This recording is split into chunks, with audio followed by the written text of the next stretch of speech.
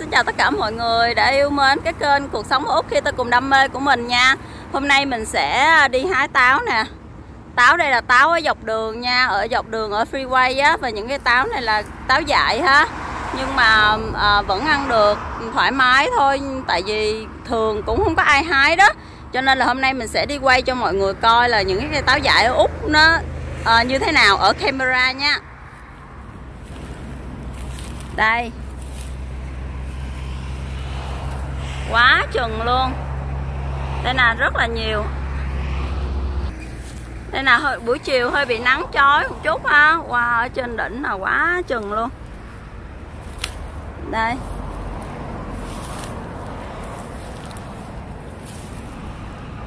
Nè, trái cũng khá là lớn á. Quá chừng, cái trái này nó bự nè. Cái trái này nó bự dễ sợ luôn. Wow, bằng cái tay luôn ha. Đây nè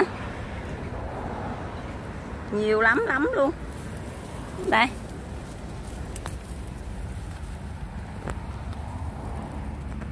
Đó.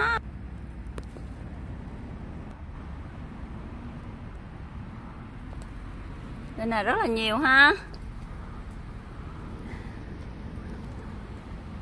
Chói quá mình cũng không thấy rõ luôn á. Nhiều quá chừng luôn. Do là um, chiều á, bị chói nắng. Trời ơi, đây nè. Đây. Rất rất là nhiều trái.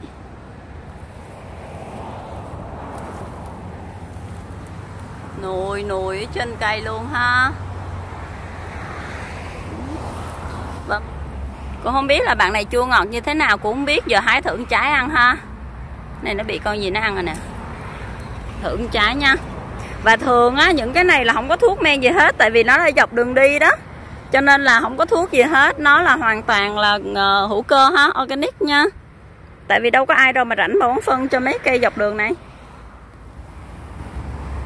Ăn thử không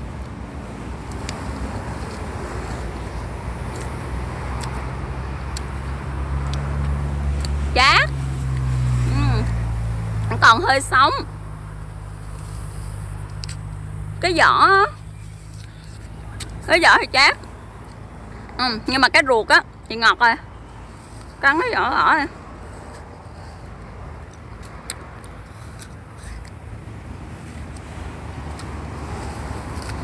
ừ. cái này á mình về á mình xóc với muối ớt rất là ngon nha. Hoặc là mình ép tá làm uh, táo ép á là được rồi. Ngon quá hả cái ruột chắc nịch à. Cái vỏ còn hơi chát mà ở trong là rất là ngọt. Ở trong ngọt ngon. Bây giờ mình phải lựa trái bự. Trái mà nó hơi đỏ đỏ nó có đỏ đỏ mèo? Hái ha. Hái một ít. Mình sẽ đi xuống một cái chỗ kia nữa. Có một cái cây nữa mà ở dưới kia nó bị tối mà không biết còn không nữa, tại thấy rất là lâu rồi. Hôm nay mình đi thử nha. Ngon lắm á. Đây nè, bây giờ mình sẽ tranh thủ hái một ít ha. Mình sẽ hái một ít thôi, để còn lại để chừa cho ai người ta có nhu cầu người ta muốn hái người ta hái ha, mình hái đủ thôi. Đây nè, mấy trái ngoài đây đỏ đỏ đỏ quá chừng, tại vì nó đủ nắng á. Nè, trái này là chín, chắc chắn luôn rồi nè đó nó đủ nắng á. Còn ở trong hồi nãy á, mình quay nó bị khuất á cho nên là nó không có nắng. Đây. Và đây là bây giờ mình đang đi tới một cái à, cây khác nữa ha. Cái cây này á chắc là cái giống khác. Cái trái á nó cũng nhỏ hơn nữa mà nó nó đã chín hết rồi nó đậu quét cái cây luôn rồi. Nè. Quá chừng trái luôn á. Đây nè nhiều lắm luôn. Đây nè. Quá trời. Cái cây này có vẻ như nó bị thiếu nước á cho nên cành nó đang héo luôn á. Nè. Nhưng mà nhiều trái lắm. Và ở trong á mình có thấy một cái uh, uh, black blackcurrant á. Đây nè.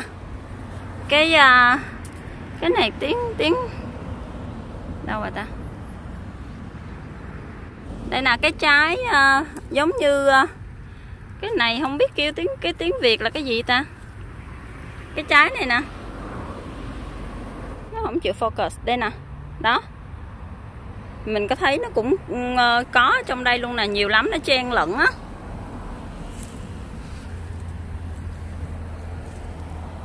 Đây nè. Đó.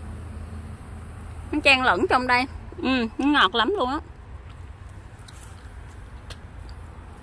Nhiều ghê.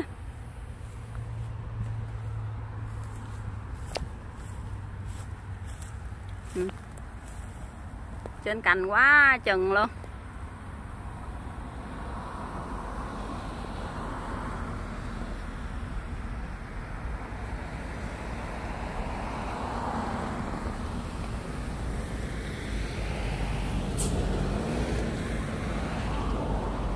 Rồi bây giờ mình sẽ hái một ít nữa ha một ít thôi. Để ờ, về mình đủ à, ép nước thôi còn lại để chừa cho. Đây nè. Wow nắng quá à. Đây là mới hái nè ha. Cái trái này nó nhỏ hơn trái bên kia nhiều lắm luôn á Chắc do nó thiếu nước á.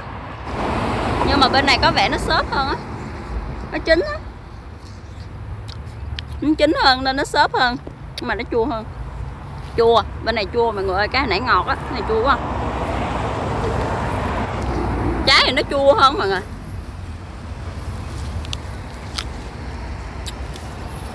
Nó chua hơn mà nước không mà tại vì nó già rồi. Nước không? Ừ. mà ngon.